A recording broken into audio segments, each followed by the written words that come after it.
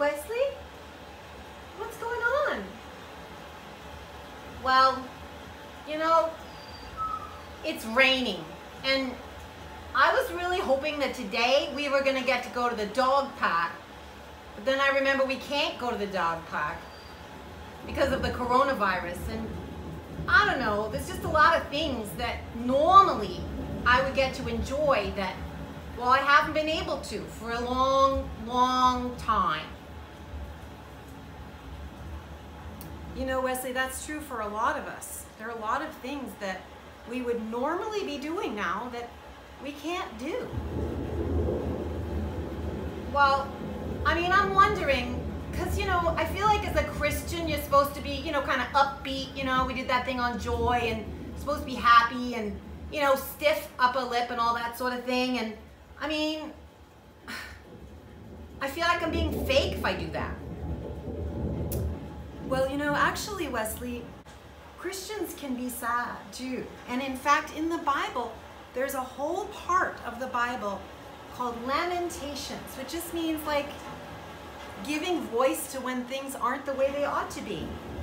In fact, Jesus quotes from one of those songs of lamentation when he's going through his time on the cross. I'm going to read to you just a little bit of one. My tears have been my food day and night. Does that does that sound like you? I mean, you know, that's that's strong language, but yeah, kind of, kind of like that. And and here's another piece. My soul is cast down within me. I say to God, my rock, why have you forgotten me? Why do I go mourning? Yeah, it, do, it does kind of feel like God has forgotten me. You know, I, I don't really feel like, you know, God is here.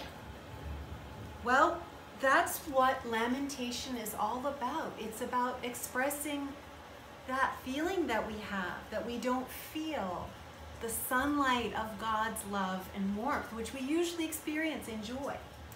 But interestingly, the reason why lamentations are in the Bible is they express truly how we feel, but we're offering that feeling to God in hope. It says, Why are you cast down, O my soul? And why are you in turmoil within me? Hope in God, for I shall again praise him, my salvation and my God.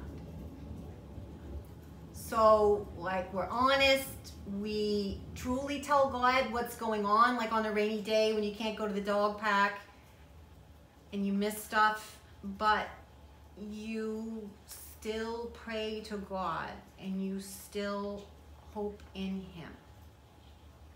Yes.